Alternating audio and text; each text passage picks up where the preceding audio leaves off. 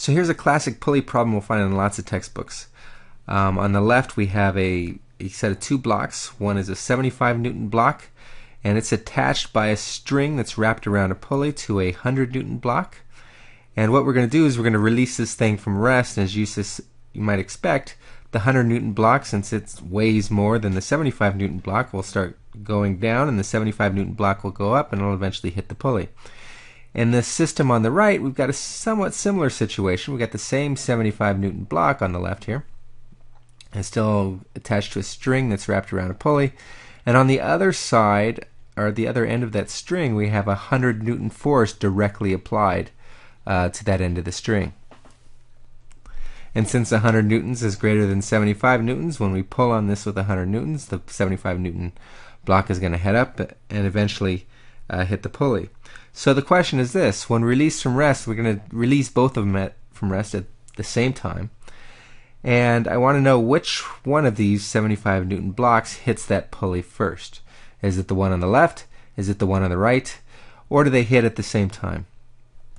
I guess you can give me an answer A, B, or C here, but I'm more interested in how you think through this this problem and how you analyze it and think about it, and can you answer this problem based upon uh, rigorous first principles of mechanics. I'm speaking mostly here in terms of Newton's second law. Can you make an argument for one of these cases? So I'm going to ask you to pause the video right now while you try to work out your argument. And when you've got something, come back and I'll give you my answer. Alright, so you're back. Let's uh, work through my argument. When I try to argue this one, I look at this 100 Newton block right here. So I'm going to draw a free body diagram for it. And this free, this 100 Newton block uh, has a weight. So it's pulling, that gravity's pulling down with a force of 100 newtons in the minus j hat direction.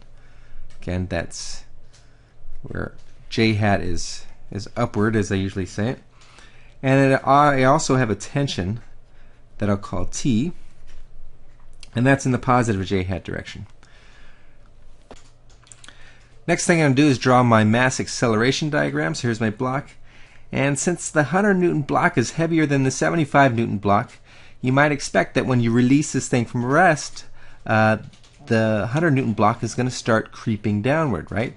So initially it has zero velocity, and then its velo- then it's going to have a negative velocity. It's going to go faster and faster in the downward direction. So its acceleration, we know, uh, based has to be downward. So I'm going to say m times a in the minus j hat direction. So I'm, I'm prescribing that direction there.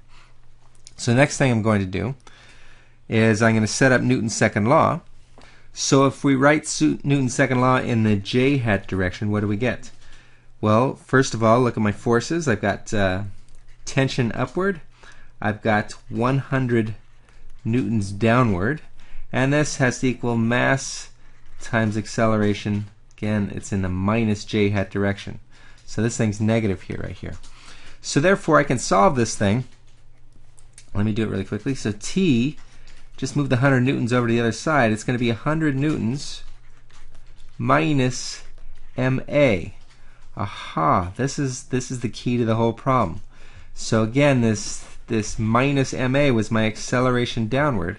So I'm going to be because of that acceleration, I'm going to be subtracting something from my 100 newtons.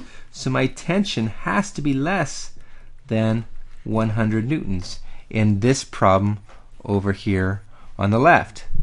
But notice for the problem on the right, the tension in the string is exactly 100 newtons, right? The tension of a string for in a pulley system, as long as the usual pulley, sum, pulley assumptions apply, is constant throughout the string. So for the problem on the right, I will have 100 newtons all the way around. The tension in the string will be 100 newtons there. Over here on the left system, this tension, this tension is going to be less than 100 newtons. Whereas this one, T equals 100. Aha! So now we see the two problems are indeed different and we can definitely eliminate the same time because these are definitely different problems. Now from here you can almost eyeball it. If I got a 100 newton tension pulling up a, a block and a tension that's less than 100 newtons pulling up the same block, then the then the one then the 100 newton force is going to pull that one up quicker, more quickly. All right, so to put what I just said or what I think I just said into graphical form, let me draw a couple more uh, free body diagrams down here. So if I look at the 75 newton block for the system on the left, it has a gravitational force of 75 newtons downward, or the minus j hat direction.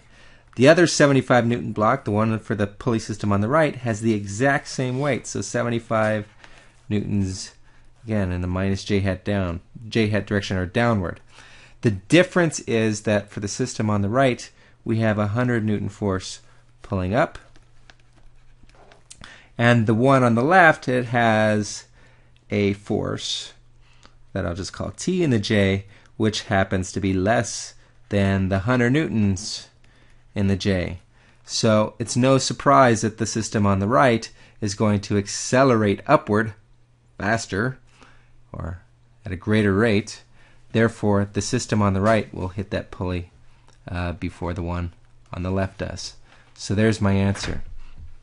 Now you might ask why. It seems the systems seem like they should be the same. And the, and the answer lies in the fact that, yeah, both systems have the same force differential, right?